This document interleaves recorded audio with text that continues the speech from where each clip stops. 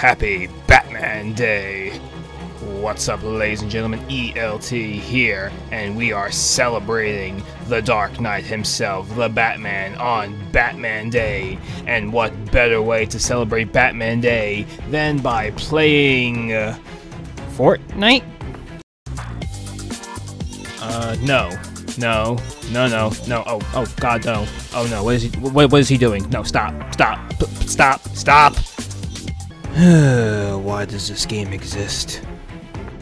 No, ladies and gentlemen, your friendly neighborhood ELT is doing things just a little bit differently because I am going to celebrate the Dark Knight. However, I am not going to celebrate him on just one day. No, no, no, no, no. I am going to be celebrating Batman for a whole entire month.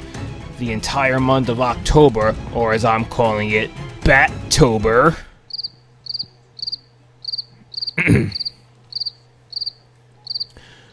throughout the entire month of October, you can expect tons of content relating to the Dark Knight himself right here on the ELT network.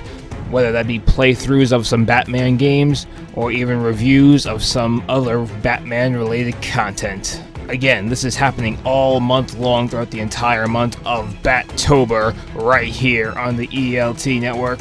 The Batathon will be underway in the coming days. I hope to see you then, and until next time, this is your friendly neighborhood ELT signing out. Enjoy the rest of your Bat Day.